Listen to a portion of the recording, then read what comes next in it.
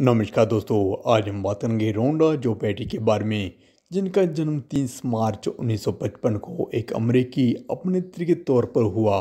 वह Avian Hall of the Fame, एक series Hall of the Fame की सदस्य भी हैं।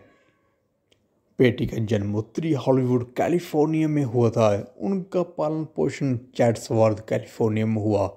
उनकी पहली मुख्य भूमिका उन्नीस सौ अठहत्तर की रिलीज़ डिस्को लेडी में थी, जो कि उस समय की लोकप्रिय मुख्य धारा की अभिनेत्री फ्रा फास्ट के साथ शरीर समानता कारण थी।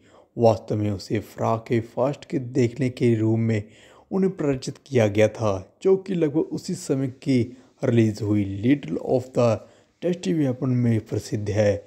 उपयुक्त रूप से उनके मंच के अन्य नामों में से एक सारा डा सेट का कारोबार हुआ जो कि समानता पर ध्यान ना दें। हालाँकि बेटी के स्पष्ट रूप से वास्तविक फास्ट तुलना में पड़े थे।